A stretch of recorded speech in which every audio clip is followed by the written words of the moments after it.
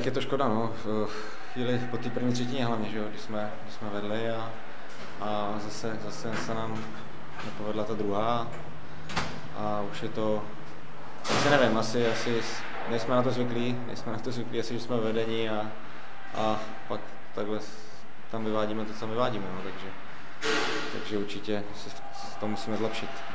Druhý zápas po sobě jste ztratili vedení, jak říkáš, tak je něco, dokážeš vypíchnout něco, na co je potřeba se víc zaměřit, abyste tady to dokázali lépe zvládat?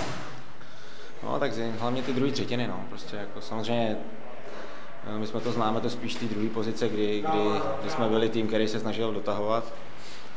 A teď jsme, jsme častokrát v té pozici, že jsme vedení, takže, takže musíme tomu tu hru umět taky přizpůsobit hodně divoký zápas eh, i na vyloučení, tak je potřeba se zaměřit i na tu větší disciplínu.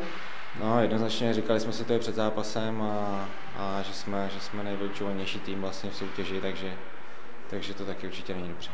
Na druhou stranu pozitivní věc, využité přesilovky, Lukáš Jelčík, hetrik, ty jsi měl dvě asistence, tak eh, dá se tady z toho odpíchnout? No, tak žali to tam parádně, parádně dvakrát vystřelil, takže super. A, ale nicméně si myslím, že ještě byla škoda, tam, tam jsem to pak dvakrát špatně vyřešil, eh, ještě jsme tam měli spoustu času potom 5 na 4, tak to je škoda, že, že jsme mohli z těch 5 na 4 potom. Dá se říct, co dneska rozhodlo, co bylo klíčové, čím Třebíč překlopila eh, to na svou stranu, že udělala ten jeden bod navíc? No, tak asi, asi, asi byla taková eh, možná koncentrovanější do té obrany, že, že prostě hráli zatáhli to a čekali na ty šance, které jsme jim nabídli. Developerská společnost D plus D Real.